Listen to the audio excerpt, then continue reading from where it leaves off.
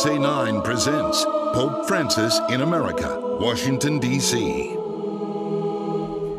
It has been a historic day in D.C. Pope Francis made a man a saint, kissed babies, hugged a little girl, and greeted thousands of admirers from around the world. Thanks for joining us. I'm Jan Jeffcoat. And I'm Leslie Foster. And of course, our Bruce Johnson has been anchoring coverage from the Basilica of the National Shrine where the canonization map mass just wrapped up. And Bruce, you got to see it with your own eyes and feel it with your own heart. Tell us what it was like to be there. That about sums it up, though. We saw it, we heard it, we felt it. Uh, should point out that the Pope right now is in his car, that little cute Fiat that he's been driving around. He's headed back uptown uh, to 34th and Reno Road, uh, 34th and Mass, the Vatican Embassy. And as soon as we capture him on our cameras, we're going to go to Mola Lenghi live. The spirit of the world tells us to be like everybody else, to settle for what comes easy. We must regain the conviction that we need one another, that we have a shared responsibility for others and for the world. That's what Pope Francis said here to some 25,000 people, and we ate it all up. He had a lot more to say about looking out for one another, that it's not just about us. Stop being so selfish. I, I just thought it was a great speech. The service itself was incredible, the singing, the vibe. Uh, scores of people took communion, including many members of the media up here. It was an incredible event. One, I, am sure nobody will leave here the same as when they came in. You know, the Catholic Church also has a new saint tonight. A Pope born in the Americas and called to Europe, honors a missionary born in Europe and called to the Americas. Jan Jeffcoat has that story.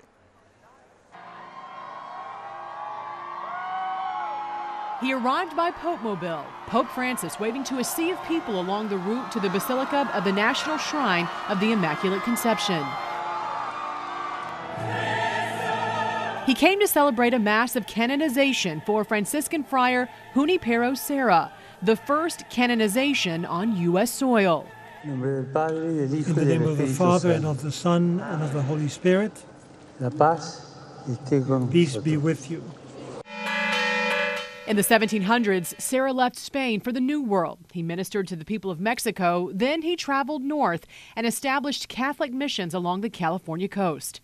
The Archbishop of Washington, Cardinal Wuerl, addressed the Pope to present Serra's name for sainthood. The Holy Mother Church earnestly beseeches Your Holiness to enter blessed Junipero Serra among the saints. The Pope's reply in Latin Beatum Juniperum Serra, Sanctum esse decernimus et definimus. Relics of the new saint were placed on the altar. Then Cardinal Wuerl again thanking the Pope. Most Holy Father, in the name of the Holy Church, I thank Your Holiness for making this proclamation. And it was done. A new saint Junipero Serra. Jan Jeffcoat, WUSA 9. Pope Francis said Serra lived by the motto, keep moving forward, and he urged all of us to do the same, keep moving forward. Right now, we're waiting for the Pope to arrive back at the Vatican Embassy in Northwest, where he'll spend the rest of the night. Nothing else on his official schedule. Uh, we've got a live look at the scene in Northwest. We're told that Pope Francis should be there soon. You can see the crowd waiting anxiously to greet him. It's right across the street from the vice president's residence.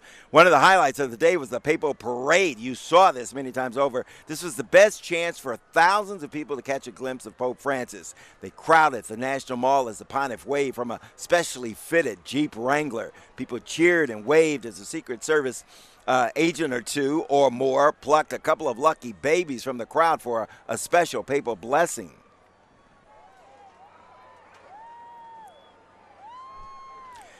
The most memorable moment, of course, happened when a young girl slipped through the police and Secret Service barricade and tried to greet the Pope. We have this close up video of when it happened. She backed away when a bodyguard came near, but then the Pope spotted her and motioned for her to come to him. She let the bodyguard pick her up and bring her to Francis for a papal kiss and blessing. An immigration advocacy group says the little girl is five year old Sophie Cruz, and she's from California. She was carrying a letter and a t shirt with a message about the status of immigrant parents of children who are born in the U.S. The guard put both of the items in the Pope Mobile, and she ran back to her family, tears streaming down her face. Clearly, she and her loved ones and all of us were touched by the Pope's kind gesture. Amazing. People from all around the world were at the parade. They were here also at the Basilica. Many of them told our Surae Chinn they just wanted to be a part of history. Welcome to the USA, ho ho! Hey, hey! Welcome to the USA! Pope Francis, all the way from Chicago! Woo! with us, sing with us. The singing and the signs, all to show their love for Pope Francis. The crowd chants, We feel, we see, the Pope is present. To see the Pope uh, and like pray for him and tell him to pray for us too. We got up at 1.30 in the morning to drive here from Richmond, Virginia. My sister-in-law. I came from Chicago. They drove all the way from Chicago. They left yesterday at 11. We just, we can't wait to see him. People have lined both sides of Constitution Avenue. Many have traveled very far to see the Holy Father. It's like a chance to, for all of us to get together and just celebrate whatever, like uh, Catholicism and stuff. And you traveled all the way from where? From Doha, Qatar. We came all the way from Michigan. The young and the old and everyone in between want to be in the presence of the Pope. She's happy because she's 86 and she's here. It's a Catholic face to see the Pope. He's the head of the church. For some, it's a deep connection of faith towards the Pope, and sometimes it's the simple things. The fact that I love about him is that he loves to take selfies. I think that's awesome, and he's like he, the way that he talks to people is just amazing. We want peace for all the Christians and all over the world. That's what we want from him. Pope Francis started his day at the White House. More than 15,000 people on the South Lawn to witness the historic joint appearance by Pope Francis and President Barack Obama. Our Andrea McCarren was there. The Pope's remarks here at the White House offered a preview of what he may say to Congress. He did not shy away from controversial issues, from climate change to immigration to marriage. By the time Pope Francis left the White House, he'd etched a lasting impression on the thousands who gathered to hear him speak, including a delegation of hundreds of cardinals and bishops. So, The Pope jumped right into controversial issues like immigration. as the son of an immigrant family, I'm happy to be a guest in this country, which was largely built by such families. Barack Obama et le Saint-Père, Papa Francesco, entrerà weitaus höher. As journalists from around the world documented his first visit to the United States. The Pope spent the greatest portion of his speech on climate change. Mr. President, I find it encouraging that you are proposing an initiative for reducing air pollution. President Obama applauded the Pope's efforts to help the poor, the sick, and the vulnerable. You shake our conscience from slumber and give us confidence that we can come together in humility and service. President Obama gave Pope Francis two gifts. First, the sculpture of a dove, which is the international symbol of peace and the Christian symbol for the Holy Spirit. He also gave the Pope a key to the Maryland home of Elizabeth Ann Seton. She's the first native born American to be declared a saint. At the White House, Andrea McCarren, WUSA 9. Wish I could tell you how all these people who were at the Basilica got here and how they're going home. I'm going to assume a lot took Metro. Metro this morning was saying the ridership was down 14%. That means a lot of federal and local government workers stayed at home, did a lot of telecommute, uh, telecommuting, and it also means that a lot of people were walking to this event here in uh, Northeast. You saw a lot of people on the sidewalks, and that's a good thing, I suppose. Leslie, uh, Jan, let's go back to you. And it looks like a lot of people have started to clear out already. Yeah. Uh, now that the mass is over, Bruce may be there by himself for a little while. All right, thank you. And of course, Pope Francis wraps up his D.C. visit tomorrow. He'll start with a historic speech to a joint session of Congress, and then thousands of people are expected to gather outside the Capitol to watch it live on Jumbotrons. They might also catch a glimpse of Francis when he makes a quick appearance on the west steps of the Capitol. Then, of course, it's over to St. Patrick's Catholic Church and the Catholic Charities of the Archdiocese, where he's expected to serve lunch to hundreds of the district's less fortunate. We know that is a really important part of what this Pope intends to do. And after that, Pope Francis will rest up before his 4 o'clock flight to New York City. If you're planning on heading to the National Mall tomorrow, there's a huge list of items you need to keep at home, including big bags or signs, chairs, coolers, and selfie sticks. You can find that list plus a schedule and road closures on the free WUSA 9 app and on WUSA9.com. You'll also be able to watch all of the events live. Topper? Well, what a great day for the Pope. What a great beginning to fall. Here are the low temps tonight. Kind of chilly. Uh, 50 in Leesburg tonight, 51 in Haymarket, Manassas, even downtown will be 59 or 60. We'll come back. We'll tell you how temps recover tomorrow and look ahead to some unsettled weather over the weekend. And we are waiting for Pope Francis to pull back into the Vatican Embassy for the night. That should happen any minute now. We hope to bring it to you live coming up.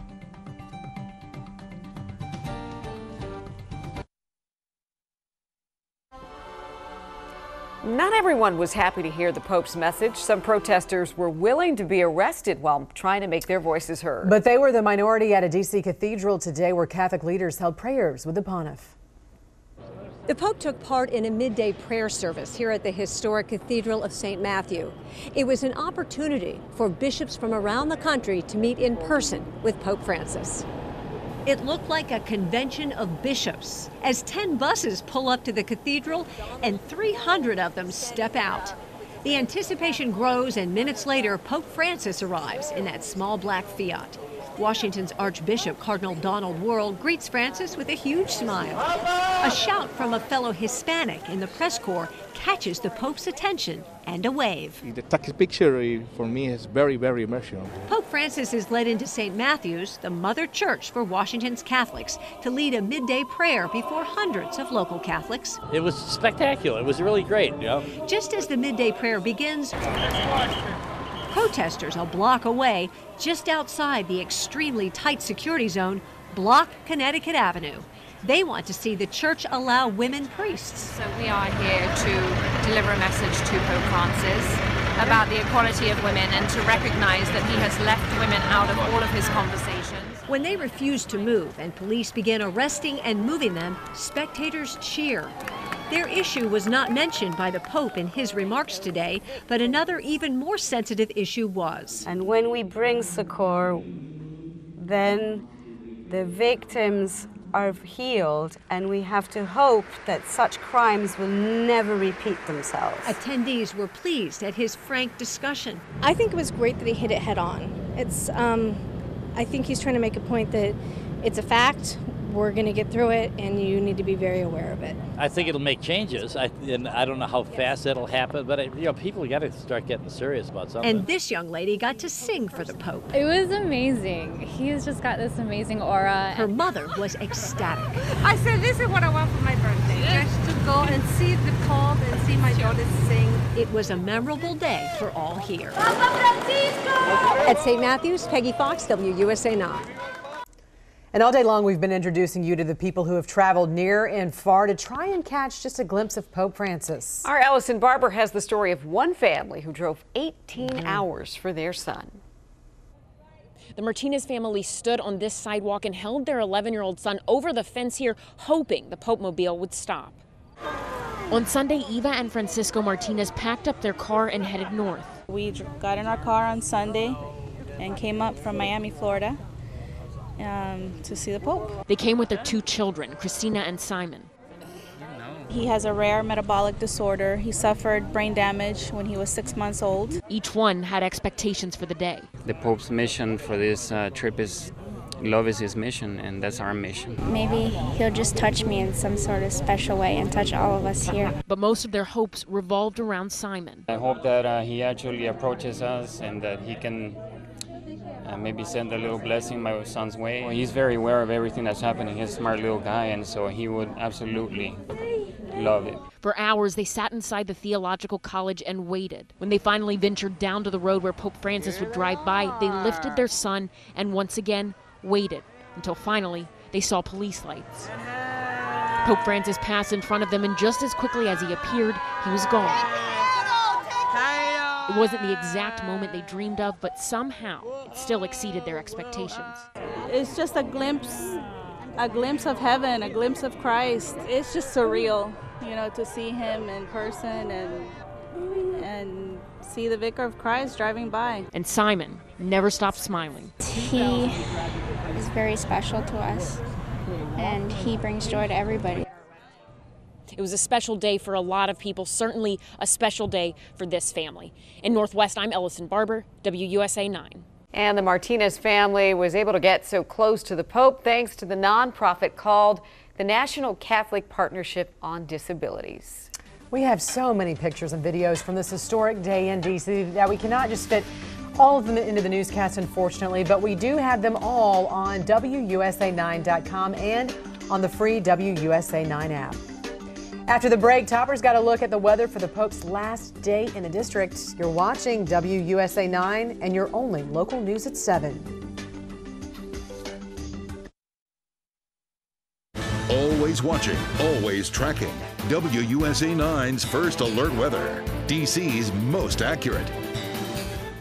All right, a beautiful evening, a beautiful day, and right now, live look outside. It's our live Michael and Son weather cam. It's still 74. Look at the dew point. I pointed out 49. It's really below 50 this time of year. Relative humidity 41%. At the peak heating of the day, the humidity was only 28%. Kind of a treat for us.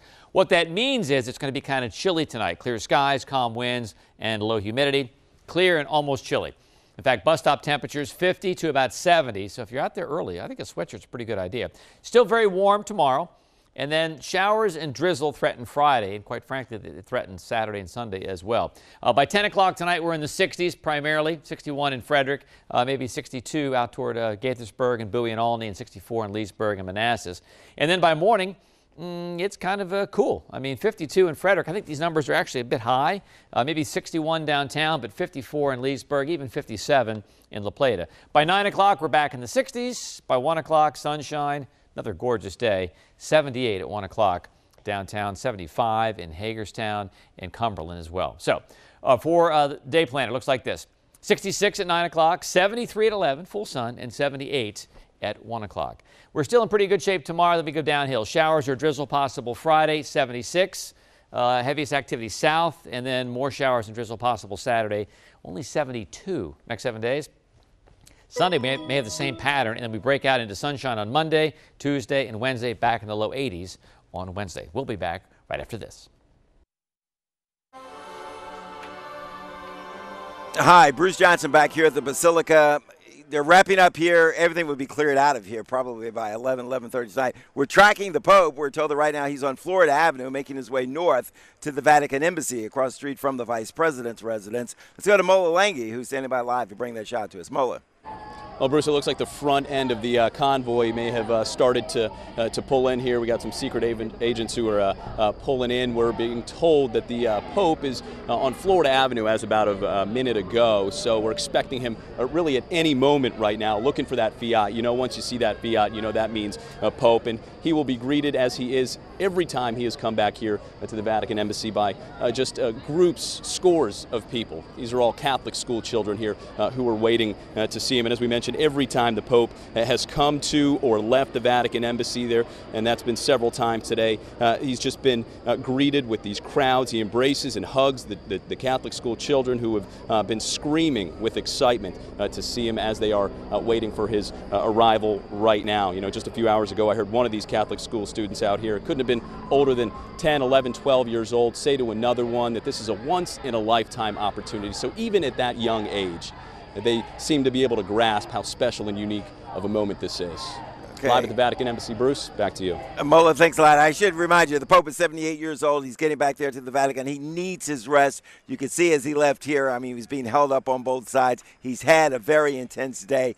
Hopefully he gets some rest, and we'll see him back here tomorrow in the best of health. Mola Lenghi, thanks a lot for that. Going to send it back to the studio, you guys. Yeah, he's got a big task tomorrow to address Congress. Absolutely. He'll need all his energy for that, and of course, meeting with homeless people yeah, later Catholic in the day. Charities, that's, that's right. right. Thank you so much, Bruce. We'll see you back here at 11. And remember, you can follow along with all of our coverage live on the free WUSA 9 app because we're actually streaming it. That's right. We'll be back at 11 o'clock. Thank you for tuning in. It's been a miraculous day, and we'll sum it all up again at 11 o'clock.